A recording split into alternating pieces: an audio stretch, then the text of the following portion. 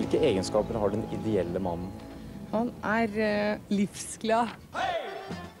I sommer er det guttas tur. Klokka 19.30 tar Frank Deli opp begrepet mannfolk. Elsket av noen, hatet av andre.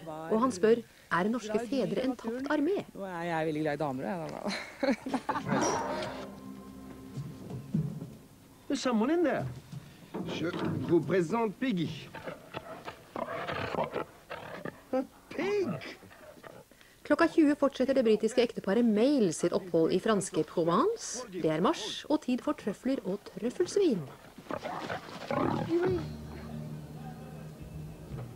Egerhavets Pompeii har man kalt utgravningsfeltet ved den lille byen Akrotiri på øya Santorini mellom Hellas og Kreta.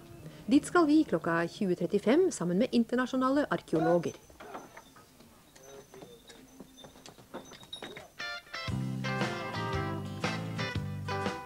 Ingvild Bryn, Terje Svabø og Ove Eriksen holder sommeråpent klokka 21.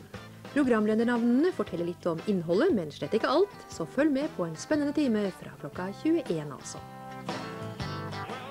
Kom igjen, Trine. Karen Marie Ellefsen tar seg fotballpause, og klokka 22.15 kommenterer hun og Lars Lystad årets friidretts Grand Prix fra Lausanne. Her Trine Hattestad fra Stuttgart i fjor.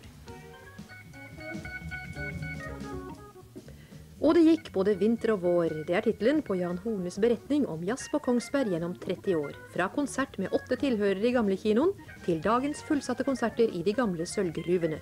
Møt et vell av jazzmusikere klokka 23.30.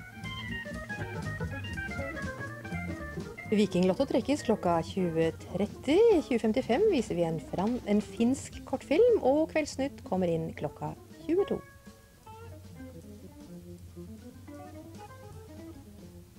Nå blir det først nyheter. Klokka er 19.